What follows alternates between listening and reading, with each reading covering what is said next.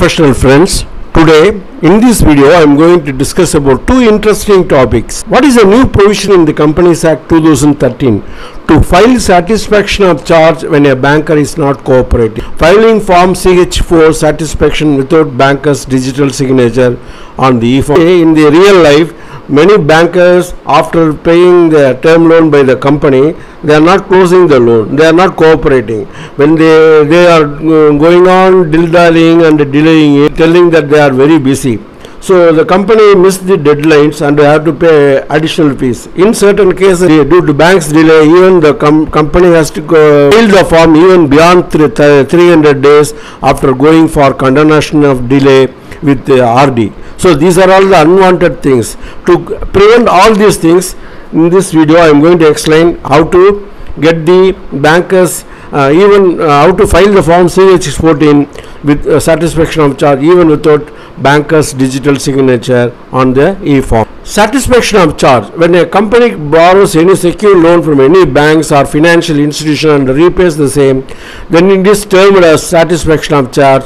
Thus, as it is mandated to report to ROC regarding borrowing of any loans in the CH1, similarly, on the repayment of loan also, it is mandatory to report ROC regarding the satisfaction of such charge in CH4. Due date filing form CH4. Form CH4 shall be filed within 30 days from the date of satisfaction of charge as per section 82.1 of the Companies Act 2013 and rule 8.1 of the Companies Registration of Charges Rules 2014 due to due date for the form CH4 4 is 30 days. Within 30 days, normal fee will be applicable. If are, the company is not able to file the form CH4 within due date, that is 30 days, then it has uh, additional fees. For up to 30 days, it's two times of the normal fee. More than 30 days, it will be four times, and more than 60 days, it will under 90 days, it is six times, and more than 90 days to, to 180 days, it is 10 times, and more than 180 days, it is 12 times of the additional fees. You, the company has to condone the delay of the satisfaction of charge CH4 where any charge for the CH4 is not filed within 300 days, 30 days plus 270 days as per section 441 of the Companies Act 2013. From the date of satisfaction of charge, the registrar shall not register the same unless the delay is condoned by the central government. That is, the, now the power has been given to regional director.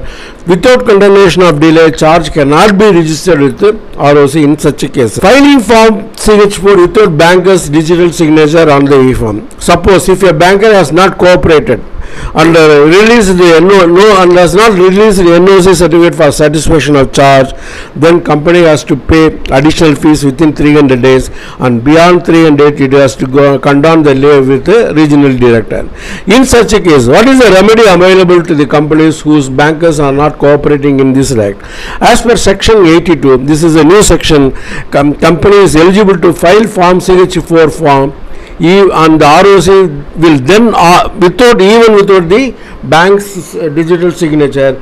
And in such a cases ROC will then ask the banker to reply within 40 days 14 days for any objection. And if no objection is received the charge will be closed by the, RV, the ROC the charge will be satisfied by the ROC even without banker's digital signature. What is the new provision in the Companies Act 2013 to file satisfaction of charge when a banker is not cooperating? Amended with effect from 5th July 2018. Section 82 of the Companies Report to Satisfaction of Charge. A company shall give, in, give intimation to the registrar of companies in the prescribed form of the payment of satisfaction fully of any charge registered under this chapter within a period of 30 days from the date of such payment or satisfaction and the provision of subsection 1 of the section 77 shall as far as, as, far as may be applied to the intimation given to the section. Subsection 2 the registrar shall on receipt of the intimation under subsection 1 cause a notice to be sent to the holder of the charge calling upon him to show cause within such time not exceeding 14 days 2 weeks as may be specified in such notice as to why the payment or satisfaction in full should not be recorded as intimated to the registrar and if no cause is shown by such holder of, of the charge then the registrar shall order a memorandum of satisfaction shall be en- entered in the register of charges kept by him under section 81 and shall inform the company that about well, that he has done so provided that no, the notice referred in this subsection shall not be required to be sent. In the case the intimation to register in this regard is in the specified form and uh, signified by the holder of the charge.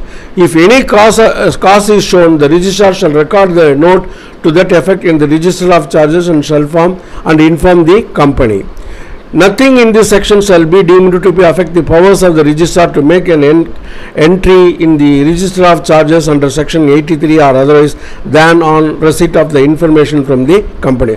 So, friends, now companies uh, can file the charge form 4 within 30 days even if the uh, banker is not cooperating. We cannot tell the that uh, ROC that banker has delayed. So, when there is a delay from the bank and if the banker is not cooperating in say putting their signature. I have um, i have seen so so many banks they are telling that we are they are very busy they could not offer any fine time and that's why it's delay has been happened. In if the delay is more than 300 days then you have to go to RD so to avoid all these things this section will be very helpful. And if you follow these procedures then the ROC will register your satisfaction of charges in the register of charges and there ends your head. Friends next topics. Every company has to appoint a complaint officer and to frame equal opportunity policy for transgender persons now.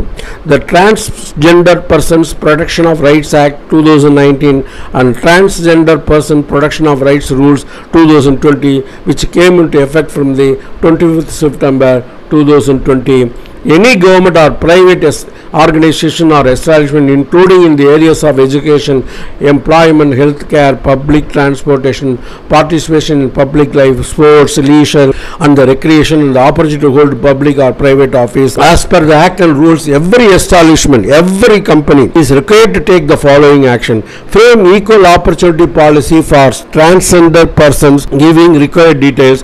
Designate a person as the complaint officer deal with the uh, complaints under the act within 30 days of the notification of the rules that is by 24 10 2020 by 24th october 2020 all the companies in india and establishment they have to appoint a complaint officer for to take care of the complaint received under this section. Provides specified facilities to transgender persons publish equal opportunity policy and display the same including details of the complaint officer preferably on its website failing which a- all consci- conspicuous places of these premises. So very important amendment to the uh, this amendment. All the companies have to observe these uh, rules.